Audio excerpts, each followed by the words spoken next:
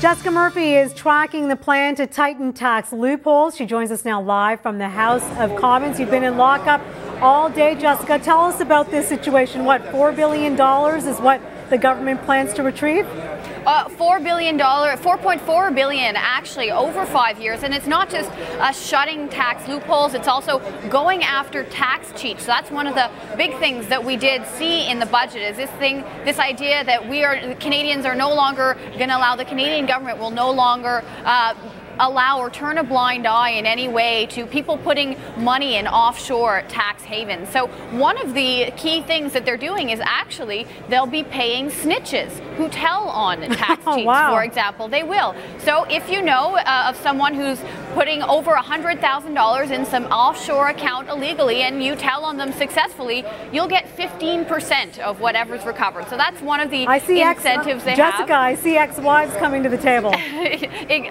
it, there was actually jokes about that in the lockup.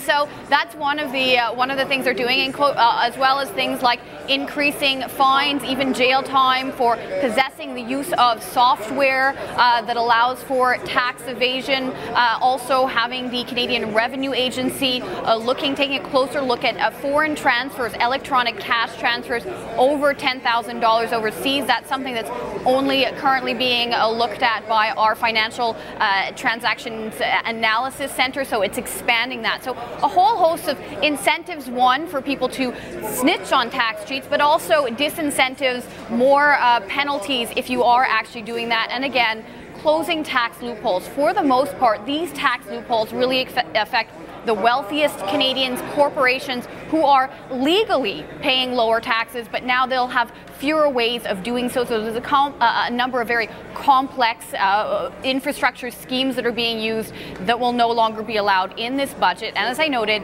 it is uh, the government does hope, and they say it is a conservative estimate to find about 4.4 billion dollars over the next five years. They say in some cases, they're not quite sure how much they'll be able to recoup. For example, when it does come to tax cheats, they don't know because it is illegal, it's an illegal activity, exactly how much is going overseas. So uh, they do say the 4.4 is a conservative amount. And this is, of course, to help shore up falling revenues. For example, uh, in commodity prices, right. the government, when it comes to oil and gas, revenues are losing about uh, $4, billion a year. So it'll help balance that out uh, somewhat, Anita. Okay, Jessica, tell me this this. Uh, we went to a live uh, press conference with Thomas Mulcair, the leader of the official opposition.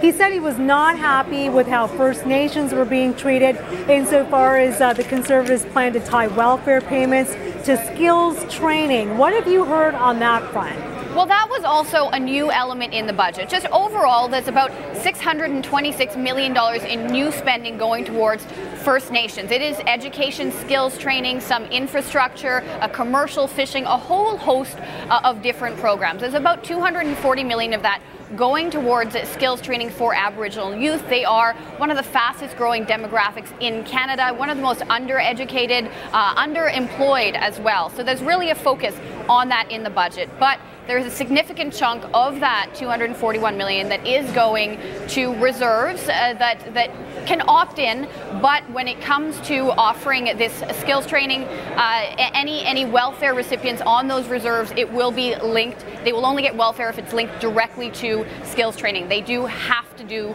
uh, the skills training. It would be mandatory. So of course the opposition not too happy with that, but it is something new that's contained uh, within this budget. All right, uh, very exciting uh, things coming out of the budget. Uh, thanks for tackling those two issues for us. You're very welcome.